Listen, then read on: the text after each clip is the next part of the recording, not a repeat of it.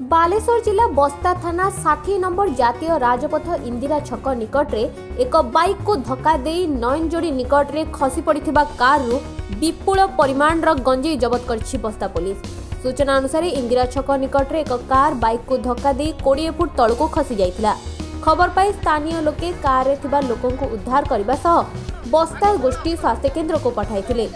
ଏହି ଘଟଣା ବାବଦରେ ସ୍ଥାନୀୟ ଲୋକେ ଥାନାକୁ ଖବର ମଧ୍ୟ ଦେଇଥିଲେ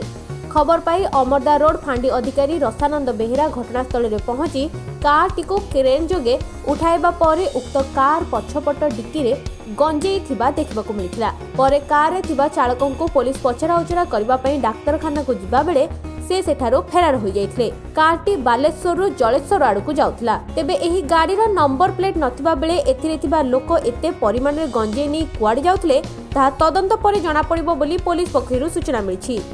বস্তা থানা অধিকারী অশোক কুমার নায়ক ঘটনাস্থলে পৌঁছি দুর্ঘটনাগ্রস্ত হয়ে কারু থানাকে নিয়ে তদন্ত জারি রাখি বালেশ্বর জেলা বস্তারু Sabir Hussain report free to speak dot in